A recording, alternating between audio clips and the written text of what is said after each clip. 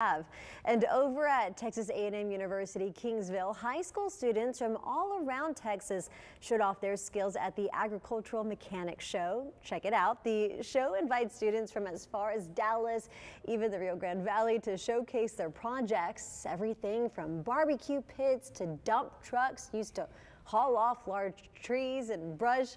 The projects are built by each high school's agriculture department. Students we spoke with today tell us each project starts from scratch in the classroom before becoming a reality. It's a learning curve for us.